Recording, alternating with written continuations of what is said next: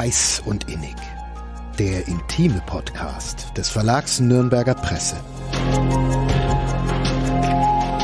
Hi, ihr hört Heiß und Innig, den intimen Podcast vom Verlag Nürnberger Presse. Mein Name ist Lena Wölki. Und mein Name ist Johannes Alles. Und heute haben wir ein Deep Dive ins Thema Erotikfilme gewagt und haben darüber gesprochen, wann ein Film zum Beispiel ein Softporno ist, wann es ein Hardcore-Porno wird, welche Subgenre es gibt und so weiter und so fort. Und dafür hatten wir Conny vom Com-Kino in Nürnberg zu Gast bei uns. Das Com-Kino zeigt jetzt seit schon 50 Jahren in Nürnberg im Künstlerhaus Filme jenseits des Mainstreams und immer wieder auch Erotikfilme. Auch ja. in Festivals beispielsweise, bei Festivals. Und Conny hat da wirklich einiges zu sagen. Unter anderem auch, wie sie es immer wieder schaffen, längst verschollen geglaubte Klassiker der Pornografie wieder aufzutreiben und aufzutun und dem Publikum zu zeigen. Deshalb viel Spaß mit der Folge. Hallo Conny, schön, dass du heute bei uns bist hier in unserem Podcast-Studio. Wir wollen heute mit dir reden über die unendlichen Weiten des Erotikfilms und ähm, wenn sich jemand diesem Genre, also gerade so diesem seichten etwas äh, ich sag jetzt mal seicht einfach, vielleicht findest du es ja ganz anders, aber ähm, äh, Film nähert. Welchen Streifen würdest du ihm denn zum Einstieg empfehlen? Ja, hallo Johannes. Erstmal vielen Dank, dass ihr mich eingeladen habt. Ich freue mich, heute hier zu sein. Ähm, die Frage ist natürlich ein bisschen schwierig, aber ähm, ich würde mal so aus der Hüfte geschossen Therese und Isabel von Radley Metzger vorschlagen. Das ist, glaube ich, ein sehr schöner Einstieg. Äh, der noch ähm, relativ zugänglich ist. Äh, da braucht man keine große Vorbildung. Es ist egal, was man vorher gesehen hat. Aber der nimmt einen schön an die Hand und ähm, bringt einem die Faszination des erotischen Films näher. Sag bitte den Namen nochmal. Therese und Isabelle. Mhm. Das ist italienisch jetzt gerade? Nee. Äh, Französisch? Das ist eine, eine internationale Koproduktion. Jetzt habt ihr mich aber ah. kalt erwischt. Ja, macht nichts. Macht nichts. Ah ja, das liefern wir nach. Das liest er vielleicht irgendwo in den Shownotes. Vielleicht aber auch nicht. Wir werden sehen. genau. Okay. Und, und was macht den? Du hast gesagt, eben, es ist ein, ein schöner Einstieg. Ähm, ist es ein ein Hardcore-Porno oder nee, eher ein Soft-Porno? Gar nicht. Oder äh, das ist, ist, sehr soft. Das ist ein ja. Erotikfilm ähm, ohne nennenswerte Pornografie, ähm, aber von einem Regisseur, der eine sehr große Bandbreite abdeckt. Also Radley Metzger hat von ähm, einfachen Dramen, wo Therese und Isabelle eher zuzuordnen ist, bis zu Hardcore ähm, alles äh, mal beackert.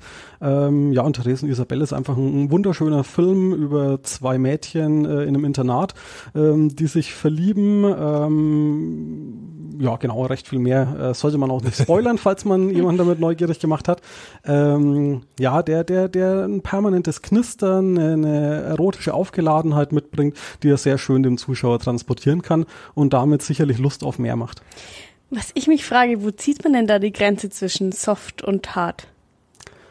Also es ist erstmal die Grenze zwischen Erotikfilm und Porno. Porno würde ich ja nur als einen Subtyp des, Erotikfilm, äh, äh, des Erotikfilms sehen. Mhm. Ähm, zwischen Softcore und Hardcore wird ja üblicherweise banal unterschieden, sind primäre Geschlechtsteile zu sehen oder nicht. Ähm, weswegen Softporno ähm, auch eher ein unspannendes äh, Subgenre ist.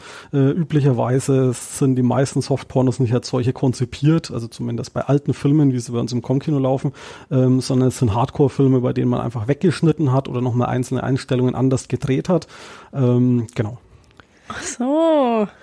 Und der Film, mhm. den du jetzt äh, empfohlen hast, der ist ungefähr aus welchem Jahr oder aus welcher ähm, Zeit? 60er. 60er. Ist das so eine Hochphase gewesen des erotischen Films oder vielleicht der, der Beginn des erotischen Films sogar? Ah, der Beginn auf keinen Fall. Ja. Also äh, erotischen Film gibt's äh, vermutlich so lange, wie es auch Film gibt. Ähm, mhm. Also es ist ja mehr oder weniger jedes Medium auch irgendwie von der Lust getrieben, äh, Lust zu zeigen. Ähm, und äh, von daher gibt's auch Filmaufnahmen von 1890, äh, in denen schon nackte Frauen zelebriert werden. Ähm, der Film ist aus äh, einer Zeit, wo man wirklich versucht hat, sehr, sehr hochwertige und schöne erotische Filme zu machen. Zu der Zeit äh, galt in Deutschland noch das Pornografieverbot, das heißt, zu explizit durfte alles nicht sein. Es, es musste immer noch einigermaßen äh, gediegen sein. Ähm, und das wollte man aber künstlerisch dann bestmöglich äh, auskosten. Das war, glaube ich, bis 1975. 75, genau. Ach, echt? Ja. Mhm. Ich habe mich vorbereitet. ich auch. Ich habe nur gut mitgespielt. okay, also das heißt 60er, Anfang 70er, ja, kann man schon als, als eine wichtige Epoche dann bezeichnen oder Phase genau. die, dieser Filme. Ähm, sag doch mal, ich glaube, wir werden auch noch über den Hofbauer-Kongress reden, da wirst du uns sicherlich noch was erzählen. Und das geht ja zurück auf den, also beziehungsweise der Name kommt vom, von Ernst Hofbauer, einem Regisseur, der diese Zeit auch maßgeblich geprägt hat, oder? Genau, also ich würde sagen, so die Hochphase des erotischen Films war sicherlich in den 70ern, nach dem Fall der ganz strengen Pornografieregeln, äh, da sind unwahrscheinlich viele Filme entstanden mit unwahrscheinlich vielen Facetten. Und da war Ernst Hofbauer auf jeden Fall eine schillernde Gestalt, ähm, die heute vor allem noch über sein seine Schulmädchen-Reportfilme jedem zumindest vom Hörensagen irgendwie ein Begriff ist. Also den Titel hat, glaube ich, wirklich jeder und jede schon mal gehört, oder? Schulmädchen-Report? Hm, ich glaube auch. Genau, also das ist auch wirklich ein Klassiker. Vor einigen Jahren wurde der Film Schulmädchenreport Teil 1 auch bei der deutschen Filmförderung äh, im Programm Deutsches Filmerbe eingereicht und äh, es wurde bewilligt, dass er also tatsächlich attestiertermaßen Teil des deutschen Filmerbes ist und entsprechend erhaltenswert ist. Ähm, er wurde letztlich dann doch nicht ausgewertet, äh, aber das hat auch nochmal andere Gründe, aber an sich die, die kulturelle Wichtigkeit ist selbst von, vom etablierten Filmkanon, glaube ich, attestiert. Okay, spannend. Warum würdest du sagen, ist das eben so eine Wichtigkeit? Warum sollte man diese Filme wirklich schätzen auch? Ah, ich glaube, äh, bei den Schulmädchen-Reportfilmen ist es tatsächlich einfach, dass sie zur richtigen Zeit mit dem richtigen Thema kamen. Es gab ganz viele Regisseure, ähm, die äh, auch in dem Bereich des Kolportagefilms, äh, der Erotikklamotte Beiträge gemacht haben, die mitunter auch qualitativ höher sind. Aber es ist ja immer ein Genre so, dass der, der ein Genre ins Rollen bringt und die ersten Beiträge macht, natürlich nicht das größte Werk des Genres zwingenderweise mhm. damit abgeliefert hat, ähm, aber halt ein wichtiger Wegbereiter war. Und die Hofbauerfilme haben einfach auch ein breites Publikum erreicht und damit das Thema auch einfach in die Gesellschaft getragen. Äh, dadurch ist er auf jeden Fall wichtig. Aber er, er, ist, er hat es am Ende sogar fast ein bisschen bedauert, oder? Dass er vor allem dafür dann irgendwann so groß wurde. Das weiß ich ehrlich gesagt okay. nicht. Keine Ahnung. Aber äh, es wäre nichts Ungewöhnliches. Also es, es gab viele Regisseure in dem Bereich, ähm, die das Ganze nachträglich gerne ausgeblendet hätten. Also es gab beispielsweise Sigi Rotemund oder als Sigi Götz auch bekannt, der ähnliche Filme gemacht hat, ähm, der inzwischen darauf auf keinen Fall mehr angesprochen werden möchte, ähm, mhm. der sich davon komplett distanziert, äh, das eben auch unter seinem Künstlernamen Sigi Götz laufen lässt. Ähm, inzwischen gibt es in München ein Magazin, das sich nach ihm benannt hat, ähm, aber auch da ist es nicht so, dass er sich dann geehrt gefühlt hat, sondern da eher auf Distanz ist, soweit ich das weiß. Ähm, oder Jürgen Enz äh, war aus München, ein bekannter Filmemacher, der auch in dem Genre unterwegs war, äh, der äh, auf seine Filme angesprochen sehr zögerlich äh, die letzten Jahre reagiert hat, ähm, weil er sich ein bisschen unsicher war, äh, werden sie verhämt, ähm, muss er sich dafür schämen und er wollte eigentlich immer nur auf den einen Film angesprochen werden, wo er tatsächlich mal ein ganz ernstes Drama ohne jegliche Erotik produziert hat. Bei allen anderen war er etwas vorsichtiger. Mhm. Dann hatten wir auch mehrfach nach Nürnberg eingeladen eingeladen ähm, und im persönlichen Gespräch ist er dann immer aufgetaut und hat auch mal zugesagt, dass er kommt. Und wie es dann soweit war, hat er angerufen, meinte, ja, er traut sich doch nicht so richtig. Ach, das ist okay. Apropos Nürnberg, apropos Probleme mit dieser Vergangenheit im Erotikfilm, das bringt mich auch zu Darstellern, die äh, das am liebsten auch äh, vergessen würden, was damals äh, war. Ähm, Bundestagsabgeordnete hatten wir hier lange Jahre, ähm, ist hier in Nürnberg sehr bekannt, die Dagmar Wörl von der CSU. Die hat ja auch in dem Film mitgespielt damals. Ne? Genau, richtig. Ist sicherlich auch ein Beispiel für jemanden, der das gerne ungeschehen machen würde und vergessen will. Äh, ja, sie war in dem Film Die Stoßburg äh, dabei. An sich nur in einer sehr kleinen Rolle, relativ harmlos, aber ähm, ja, das zeigt so ein bisschen, dass der Erotikfilm gesellschaftlich halt immer noch einen schweren Stand hat. Es, es wird nicht so selbstverständlich akzeptiert, wenn man dort mitgespielt hat. Und äh, ja, so hat auch sie große Bemühungen unternommen, äh, den, den Film dann doch vergessen zu machen. Also äh, so wie man von Kinokollegen hört, ähm, war es zur Zeit äh, des Beginns ihrer Politkarriere so, dass er versucht hat, äh, die Filmkopien aus dem Verkehr zu ziehen, äh, auf dass der Film nicht mehr gezeigt wird und sie dementsprechend nicht mehr diskreditieren kann. Dann kann sie mal froh sein, dass sie nicht früher so ein OnlyFans-Model war und dann irgendwie versuchen muss, aus dem Internet alles zu löschen. Das ist, glaube ich, schwieriger als Das ist, glaube ich, unmöglich. Wenn ja. man nur auf analogen Film gebannt ist, kann man es versuchen. Ne? Also Filme sind früher in, in, sehr kleinen Kopienzahlen, so 10, 20 Filmkopien äh, durch die Welt gegeistert und wurden ja üblicherweise nicht digitalisiert. Das heißt, da hat man eine realistische Chance. Ja. Ähm, Bei der Gelegenheit, die wird am 5. Mai 70 Jahre alt. Von daher herzlichen Glückwunsch, Frau Wörl. Sie ist ja ein großer Fan unseres Podcasts, das ist ja bekannt. Genau. nicht. es ist zumindest nicht bekannt, vielleicht ist sie es. Naja. Okay. Falls sie ihre Meinung ändert, ist sie auch zu uns jederzeit herzlich eingeladen, wenn sie noch eine dieser Filmkopien hat. Äh. Zu uns in dem Podcast auch, ne? Wir würden auch mit ihr reden. Wir können das ja zusammen irgendwie an einem Tag machen. Ja. Laden wir sie ein und dann.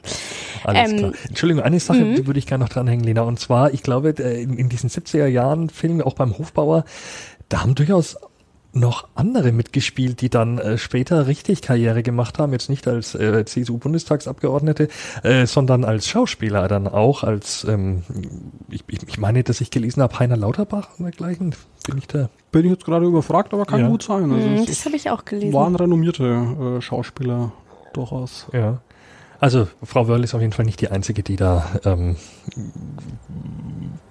ja, sich ausprobiert hat in dem Show. Nee, auf, auf gar keinen Fall. Äh, Sibylle Rau ist beispielsweise auch sehr bekannt, äh, die auch in vielen solcher Filme mitgespielt ja. hat, trotz der Polit-Karriere des Daddys. Hm. Äh, was mich interessieren würde jetzt im, im, Vergleich zu den 60er, 70ern, vor allem dann 70er, diese Filme, also das Genre, wird das immer noch weiterhin produziert? Weil wir haben zum Beispiel das Gefühl, wir wollten schon immer mal eine Folge einfach nur über Pornos machen, das ist gar nicht mehr so leicht, weil so viel eben mittlerweile nicht mehr von großen Firmen gemacht wird, sondern eher von, von kleineren Darstellern oder von einzelnen Darstellern. Die müssen jetzt nicht zwingend klein sein. Ähm, wie ist das denn bei, Entschuldigung, wie ist das denn beim Softporno? Ja, also im, im Mainstream äh, ist Erotikfilm im Kino allgemein weitgehend verschwunden, egal ob jetzt Porno oder sonstige Facetten des Erotikfilms. Wenn dann irgendwie einmal in 100 Jahren so Fifty Shades of Grey oder so im Kino läuft, dann ist das ja der große Aufreger. Mhm. Da hätte in den 70ern kein Mensch drüber gesprochen. Das wäre ein relativ belangloser Film gewesen, wo es 100 bessere gab, die ins gleiche, in die gleiche Kerbe geschlagen haben. Ähm, aber natürlich findet es immer noch statt. Ähm, es gibt beispielsweise in Berlin einmal im Jahr das Pornfilmfestival, das sich äh, ausdrücklich dem Porno über mehrere Tage widmet und da äh, überwiegend äh, aktuelle Filme präsentiert. Mhm. Ähm, in Berlin gibt es auch eine, eine, sehr vitale Szene an Underground-Filmern, äh, die dann mitunter auch sehr spezielle Nischen abdecken. Da gibt es dann sehr woke Pornos, couple-friendly Pornos etc.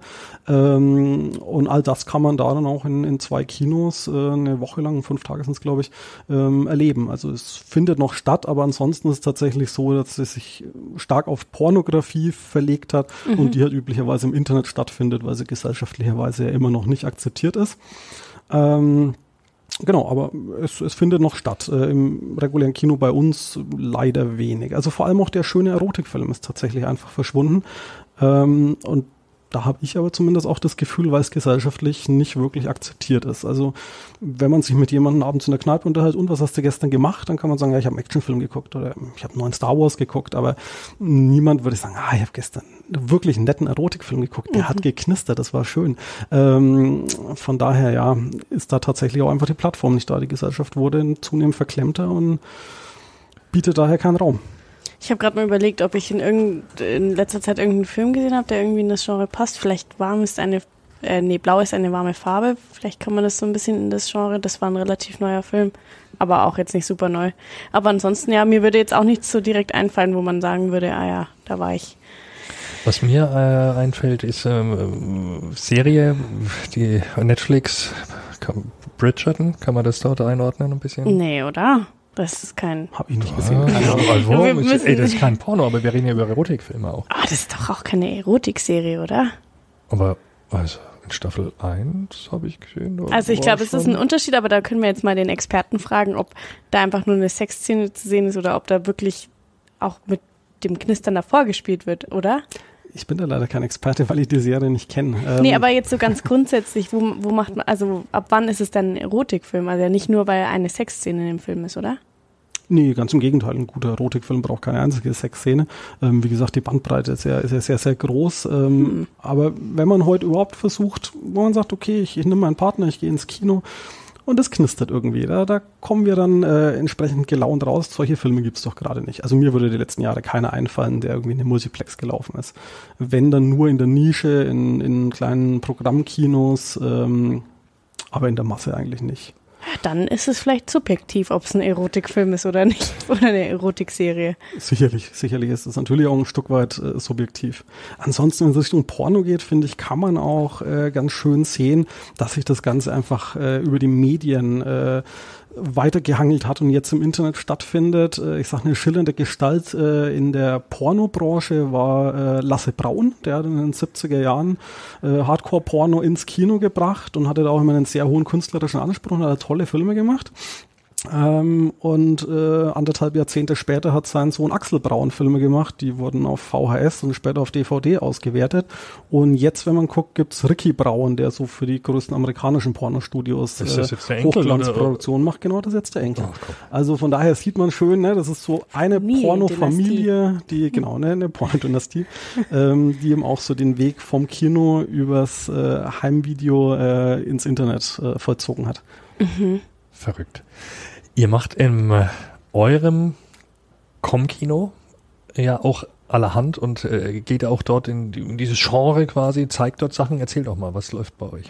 Genau, wir versuchen äh, wie immer die ganze Bandbreite abzudecken. Also bei uns bekommt man von eher zahmem Erotikkino wie dem am Anfangs erwähnten Therese und Isabelle oder Sie liebten sich einen Sommer mit Ornella Muti ähm, über klassische ähm, Erotik-Klamotten, wie sie Franz Marischka oder, oder Franz Andl gemacht haben, das Liebeshotel in Tirol oder solche Geschichten, äh, Pudelnackt in Oberbayern.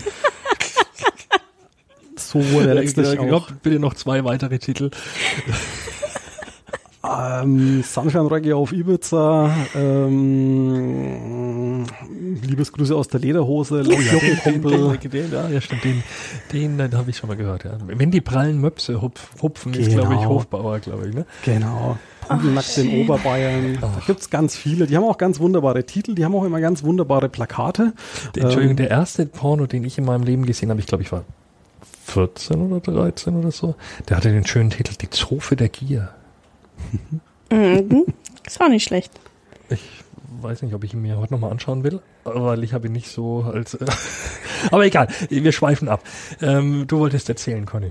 Ja, ansonsten gibt's bei uns den klassischen Kolportage-Film, den man natürlich auch gerne irgendwie mit Erotik und Schmuddel in Verbindung bringt. Können wir also, ganz kurz mal klären, was das genau ist für Leute, die das nicht wissen? Ja, ähm, Im Kol Kolportagefilm möchte man, wie der Name schon sagt, äh, Dinge kolportieren, also äh, Einblicke in Bereiche geben, die man sonst nicht hat. Äh, das kann fiktiv reißerisches wie der Schulmädchenreport sein, in dem vermeintlich lusterne Schülerinnen gezeigt werden, wie sie ihre Lehre um den Verstand bringen. Ähm, das kann auch seriöser sein. Ich sag mal, Oswald Koll ist wahrscheinlich den meisten Begriff, der das Ganze unter Sexualaufklärung verkauft hat, was er tun möchte. Ähm, da gibt's aber auch eine, eine riesen Bandbreite, keine Ahnung, Variation der Liebe, Anatomie des Liebesakts etc. Das sind alles Filme, die äh, auf verschiedene Weisen ähm, versuchen, mehr oder weniger dokumentarisch auch Dinge darzustellen. Mhm. Ähm, ja, also der Klassiker, wie man es dann von Kolle kannte, äh, ist, dass man äh, oft einen Therapeuten, Arzt, wie auch immer präsentiert, äh, zu dem Menschen kommen, die sexuelle Probleme äh, oder sexuelle Fragen auch einfach äh, an ihn stellen und sich helfen lassen. Und äh, das hat man genutzt, um, um die Neugier in der Gesellschaft äh, zu befriedigen. Ein Stück weit war es sicherlich auch nur ein Deckmantel, um manche Nuditäten zeigen zu können.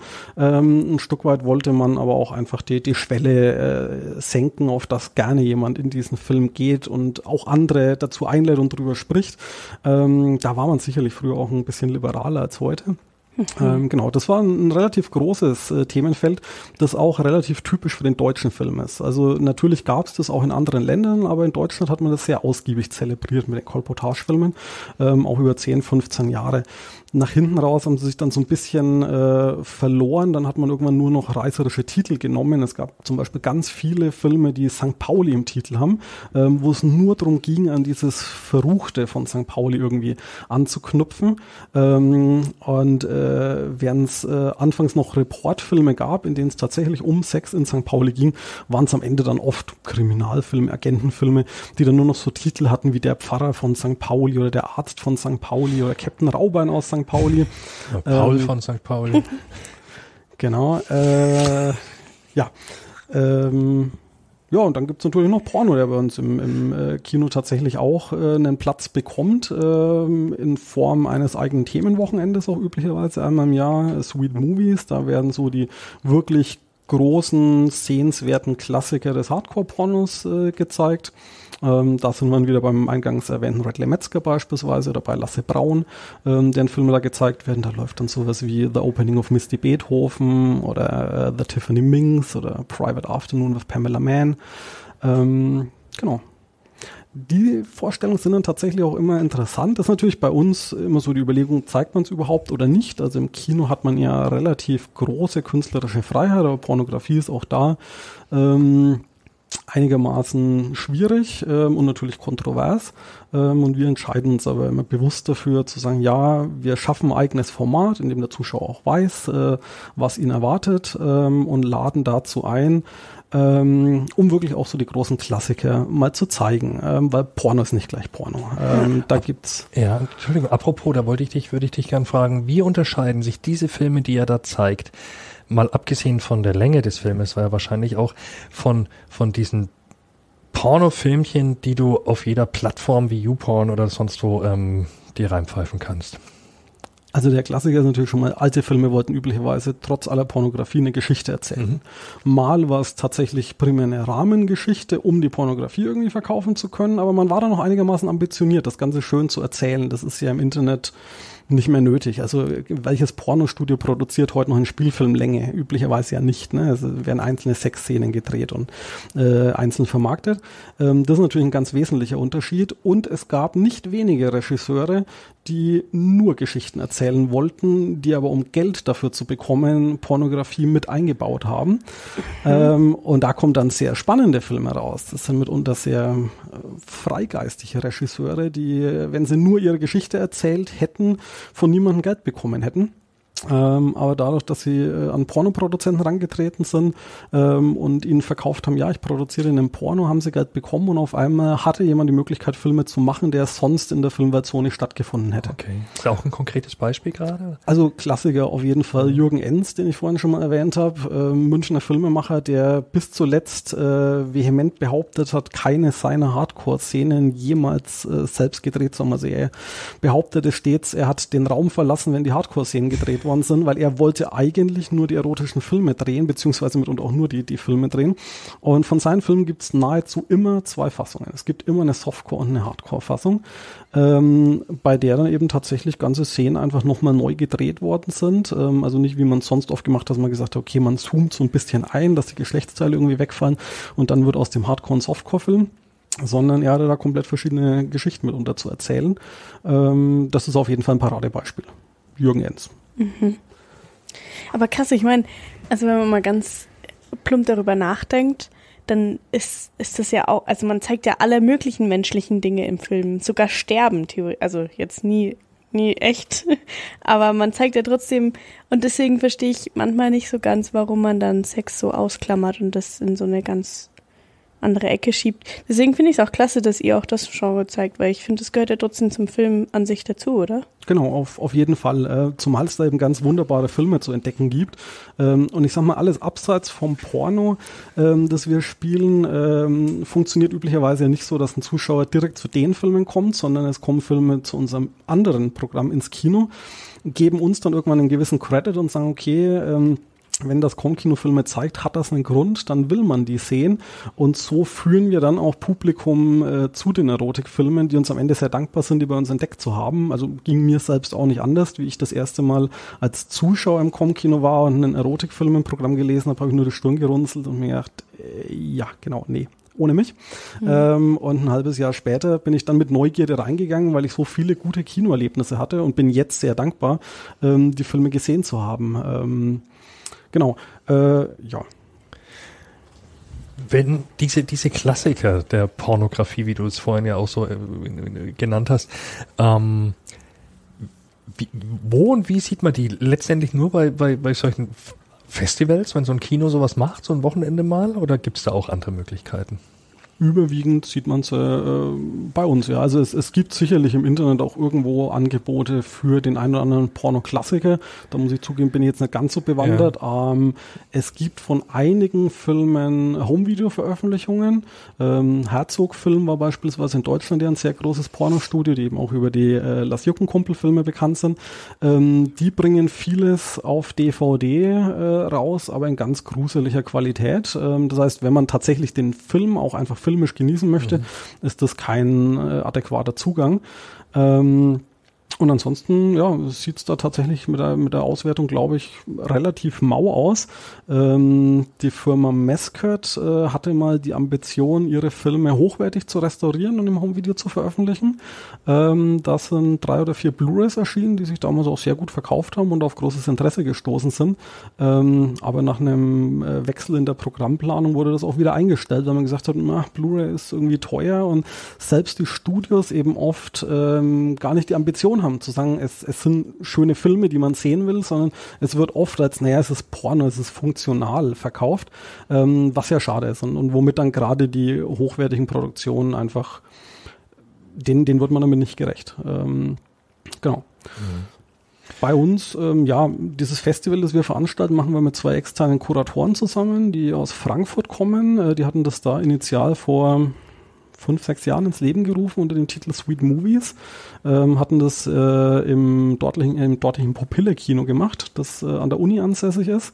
Ähm, und mussten dann aber nach der ersten Ausgabe, wurden sie direkt zum Rapport bestellt äh, und mussten sich vor der Studentenvertretung und Hochschulleitung rechtfertigen, äh, was sie da für, für einen Schmutz äh, losgelassen haben. Ähm, das war also sehr unerfreulich und zeigt auch, wie schwer es ist, äh, heute überhaupt eine, eine, seriöse Plattform für solche Filme äh, zu präsentieren. Ähm, und dann kamen sie auf uns zu und meinten eben mit einem Blick auf unser Programm, es scheint doch sehr vieles in Nürnberg möglich zu sein, äh, ob wir nicht Interesse hätten. Und dann haben wir gesagt, klar, gerne, machen wir zusammen. Äh, sie sollen sich ein schönes Konzept überlegen, eine nette Filmauswahl zusammenstellen, dann sprechen wir drüber, aber dann können wir das gerne tun.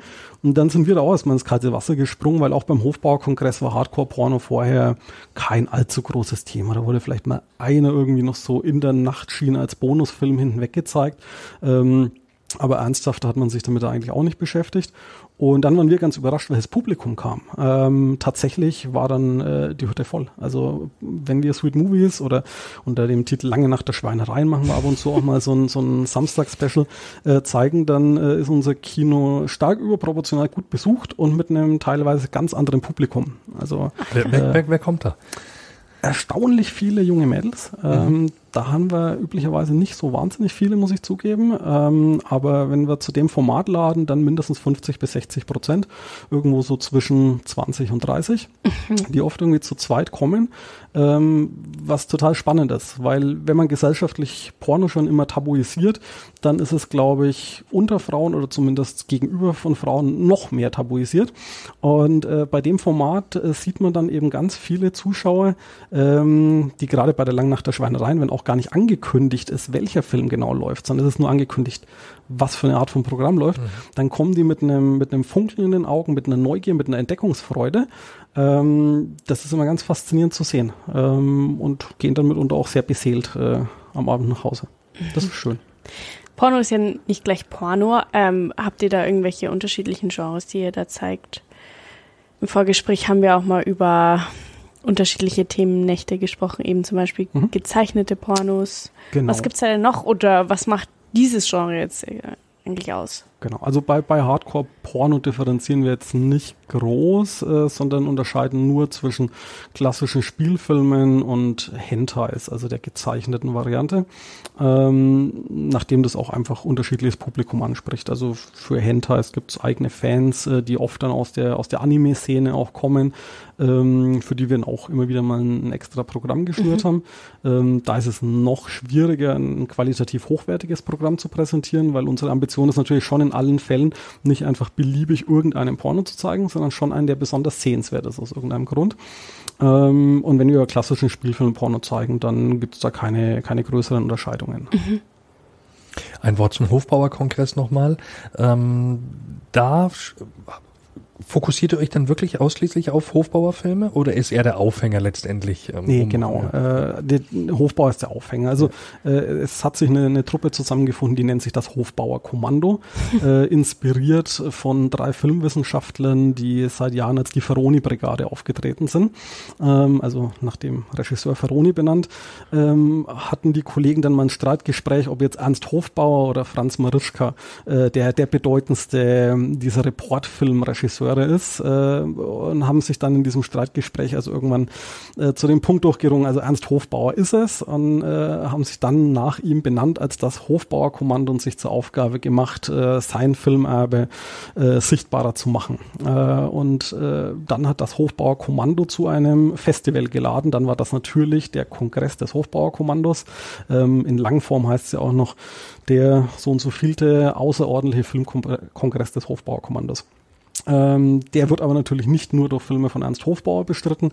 Äh, es laufen jedes Jahr zwischen 20 und 25 Filme beim Hofbauer-Kongress. Das heißt, äh, das Övre von Ernst Hofbauer wird ab in weniger Jahre aufgezehrt und wir sind inzwischen in der 22. Ausgabe, wenn ich es gerade richtig im Kopf habe.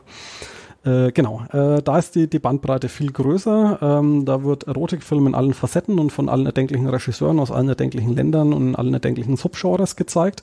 Ähm, in den letzten Jahren allerdings auch zunehmend anderes. Ähm, es hat sich beim Hofbaukongress ein großes Stammpublikum gefunden von, ähm, ich würde mal schätzen, 200, 300 äh, Gästen, die regelmäßig äh, Interesse haben zu kommen. Ähm, es ist auch jedes Jahr beim Hofbauerkongress ausverkauftes Haus. Äh, es gibt Menschen, die sich dann wirklich Urlaub nehmen und von Mittwoch bis Sonntag jeweils von mittags um 12 bis morgens um 4 bei uns im Kino sitzen und einen Film nach dem anderen gucken.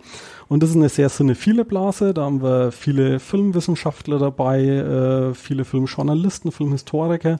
Ähm, und diese Bühne hat man dann natürlich irgendwann genutzt, um einfach äh, allgemein obskure, rare, apokryphe Filme äh, auszugraben und äh, auf der Plattform zu präsentieren.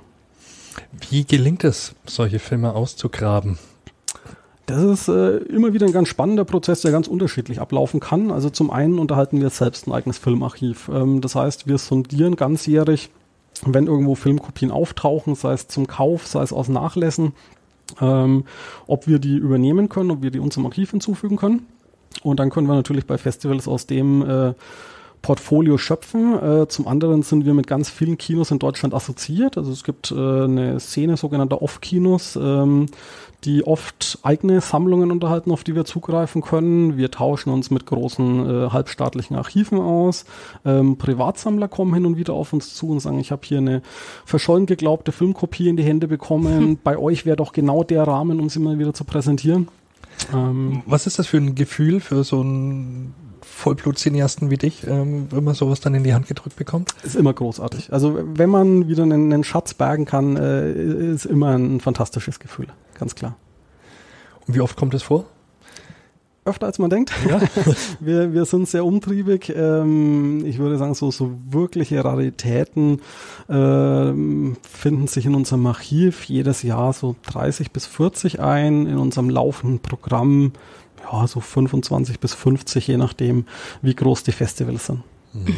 Gibt es auch noch irgendwas, wo ihr ein großer Name quasi, der verschollen ist und nach dem jeder sucht? Naja, also wir, wir haben im Fahrwasser des Com-Kinos ja auch schon ein Filmlabel gegründet, über das wir alte, verschollene Filme bergen, digitalisieren, veröffentlichen. Ähm, da hatten wir zum Beispiel Der Perser und die Schwedin äh, als initiales Projekt. Äh, der Film war niemandem bekannt, äh, galt in seiner Heimat äh, schon seit Jahrzehnten als verschollen. Und äh, wir haben eine Kopie in die Finger bekommen. Die lag dann bei uns im, im Archiv, äh, hat eine der klassischen Verfallserscheinungen von analogen Filmen äh, entwickelt. Und wir haben gesagt, den müssen wir auf jeden Fall irgendwie retten, den müssen wir auf jeden Fall irgendwie für die Nachwelt erhalten und haben im Zuge dessen ein Filmlabel gegründet, haben den digitalisiert und veröffentlicht, womit er jetzt natürlich keine äh, äh, schwer verfügbare Rarität mehr ist, ja. aber das wäre so ein Klassiker. Ähm, die Recherchen damals äh, haben ergeben, dass es von dem Film seinerzeit neun Kopien gab. Wir haben dann im Zuge der Digitalisierung äh, drei davon gefunden. Ähm, das würde, auf, würde ich auf jeden Fall als gehobenen Schatz bezeichnen. Ja. Mhm. Oder Nackt im Sommerwind, ähm, auch so ein Film, den wir ähm, digitalisiert haben, ähm, ist von Doris Wishman, so eine der äh, bekannteren amerikanischen Filmemacherinnen.